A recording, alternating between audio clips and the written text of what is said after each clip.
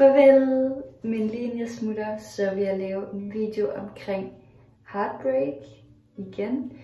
Øhm, fordi at det er så vigtigt øhm, at vide en masse om, øh, om heartbreak, om hvad det egentlig er, fordi alle går igennem et heartbreak, og der er en aha-oplevelse, jeg lige har haft omkring, hvad et heartbreak egentlig er. Og det er det samme som, at der sker en ændring, som som man virkelig ikke ønsker skulle ske. Som for eksempel en, der forlader dig, eller en, der øh, ja, vælger at være sammen med en anden, øh, eller vælger ikke at være sammen med dig, hvor at du har haft en forventning og et ønske om det modsatte, og det er ligesom en ændring, som du ikke kan håndtere, og ikke, eller i hvert fald ikke har lyst til skulle ske.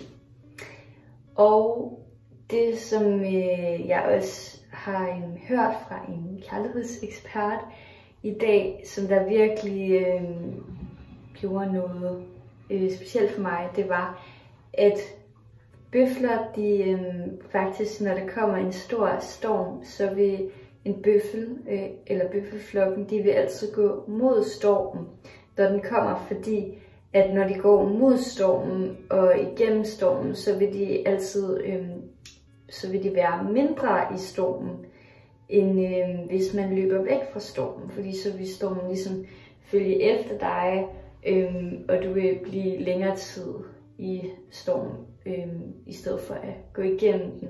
Og det er det samme med at mærke dine følelser og gå igennem din frygt, fordi mange mennesker de er så bange for, at når de først begynder at græde og mærke frygten, at de så ikke vil kunne stoppe igen.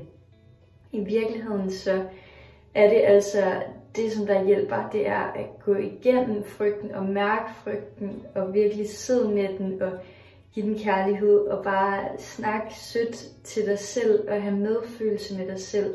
Når du også øh, snakker med nogle andre, som der lytter til dig og ser dig og har medfølelse med dig, så øh, vil du også kunne mærke en rigtig stor forløsning, øh, som du også kan gøre med dig selv. Øh, det er virkelig bare et stort råd at ligesom mærke dine følelser, for jo mere du løber væk fra den, øh, jo mere vil den øh, hvad hedder det, følge efter dig, og så vil den ligesom være der hele tiden, øh, indtil at du ser den i øjnene, og den vil også være der i meget længere tid, når du ja, undertrykker dine følelser. Men jeg synes bare, det var sådan et godt billede med en storm at gå igennem den. Og ligesom give dig, det vil give dig så meget udvikling, øhm, når du ser din frygt i øjnene og mærker ligesom, hvor det kommer fra, og hvad det er, som du ikke kan lide, øhm, som du gerne vil kontrollere og have på en bestemt måde. Øh, og jeg håber bare, ja, at I kunne bruge det her råd til noget. Og virkelig bare mærke jeres følelser, sidde med jeres følelser og mærke, hvor kommer det her fra. Øhm, og ved, at alt er, som det skal være.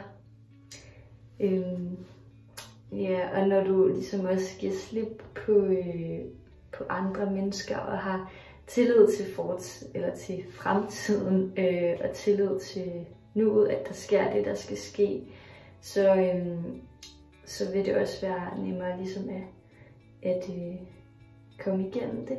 Og virkelig bare meditere og mærke dine følelser, mærke øh, ja, igen, hvor det kommer fra, og have medfølelse og finde den søde stemme frem inden i dig selv, som det, det er tit den stemme, som der er allersværest øh, at finde, men den ligger der inde i, i alle mennesker. Øhm, så vær sød mod jer selv og mærk frygten og giv slip og giv plads til den. Gå mod stormen og kom igen på den anden side. Jeg håber, I kunne bruge videoen til noget. Det har i hvert fald øh, virkelig hjulpet mig at øh, få det her at vide. Og det har bare gjort en stor forskel.